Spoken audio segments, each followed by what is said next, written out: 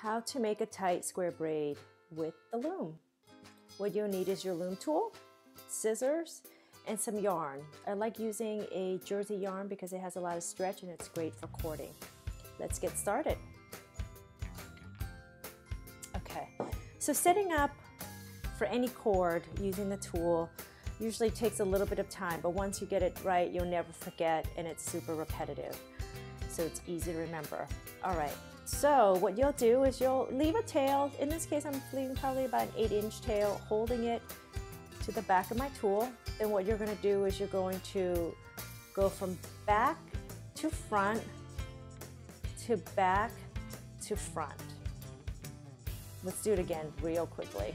Okay, so you're gonna go from back then across to front, around the back to the front. So it should look like this, okay? Then you're gonna lift the bottom piece over. Then you're gonna pull your tension. Now, now the first couple knots are gonna be really, really hard, so you have to just hold everything in place. Now you're gonna repeat the same thing as I turn it over. It's just gonna go naturally across in the front, taking the bottom over. Okay, flip it over. Again, just always pulling, making the tension tight. Again, pulling across, bottom, goes over the top, flip, and pull. Sometimes I pull the tail too, just really helps with the tension. Again, pull over, flip, and pull.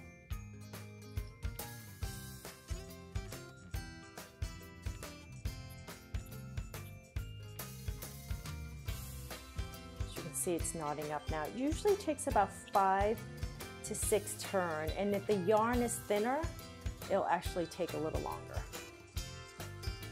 Okay, so now it's just repetitive. Probably around the 10th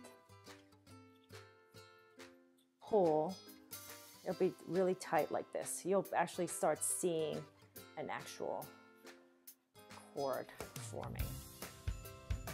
Pull over. Two, pull.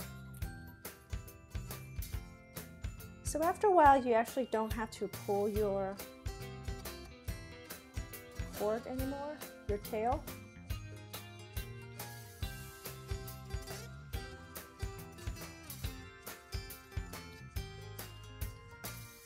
So tension really matters here, especially if your yarn is thin. You'll begin to really see it. So See how I usually have to work it a little bit.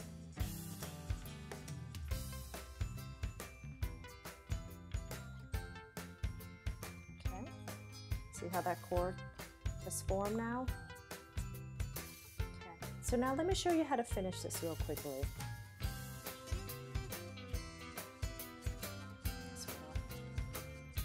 Oh, one more tip. So let's say you have to travel or you need to leave your project, all you do is just wrap it around store anywhere and then once you come back you just get started again. You always know how to um, do your last cord is that just moving this straight across like this to the back okay? So now let's finish this piece. I'm gonna pop it out off the Loome tool. I'm gonna cut the tail to whatever length you like. In this case I'm just gonna leave a tiny tiny tail. And again taking the end putting it through this side. So you're gonna have to close it by pulling the left ear basically like this. Then inserting this to this side and pulling and they'll tie them together. So now you have a little bit of a cord. In this case, we put a bead on this so it's a little bit of a, a bracelet like this. Really cute. And if your yarn is really thin sometimes, so we have this t-shirt yarn, we love it, and it was thin and I wanted to do something a little bit thicker, I just double things up. I just start cording together like this as if it's one piece of yarn. And it actually comes out in a nice, nice blend of color here. Okay, this is how you make your tight square braid with the Loome tool.